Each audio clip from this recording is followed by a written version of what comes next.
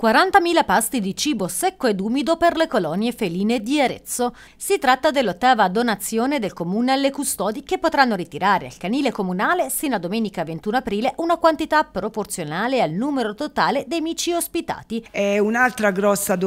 donazione che arriva dal comune di Arezzo a favore delle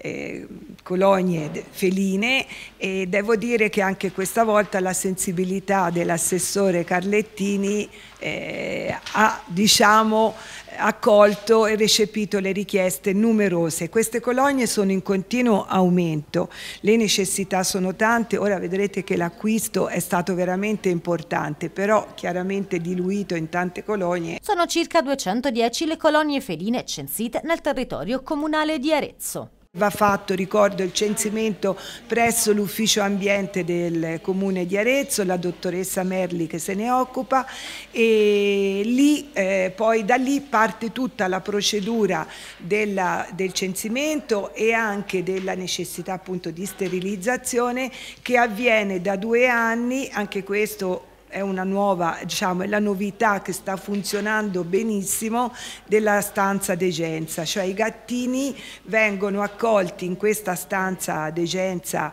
eh, due giorni prima, portati da noi alla ASLE a operare, rimessi per il post operatorio e poi restituiti in colonia.